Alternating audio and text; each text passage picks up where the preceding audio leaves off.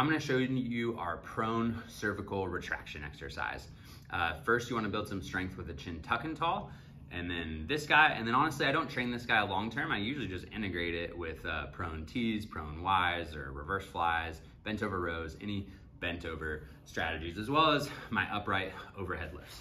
Uh, so with this, you're gonna lay on your tummy, and the key is that you don't cheat through your low back. So uh, once you get down there, I'm gonna show you to kind of tuck your pelvis, and then we're going from there. So forehead flat on the ground, tuck that pelvis, squeezing my glutes, and then I'm tucking my chin down and then lifting it up off the floor. Back down, and then repeat. Tuck, lift, and sustaining.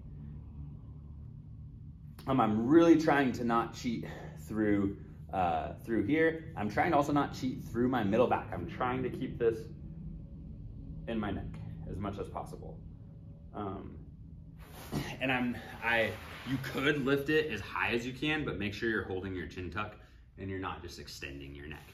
Uh, and uh, with that, guys, you can dose it a, a, couple different ways. You can do three sets of 10 with like a three to five second hold, or you could just work to sustain a 30 uh, to 60 second hold even, uh, just like you would a plank.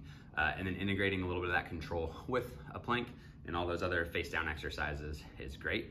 Um, and that's really how we end up applying this long term as opposed to always repping this, but this is a good starting point. So uh, hope you can build that stronger neck with that uh, cervical retraction strengthening.